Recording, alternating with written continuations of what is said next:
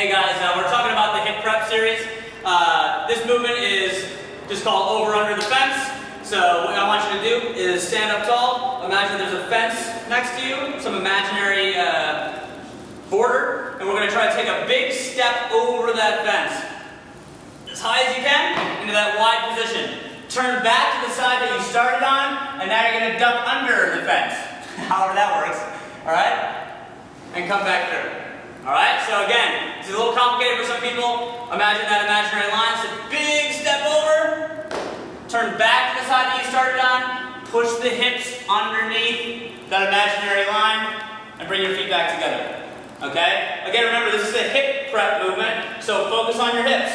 As you step over, turn back to where you started. Everything goes under. All right? What we don't want to see is that you step over and then you just duck your head under, right? Remember, keep those hips low as you grind through that bottom position, all right? That's over under the fence.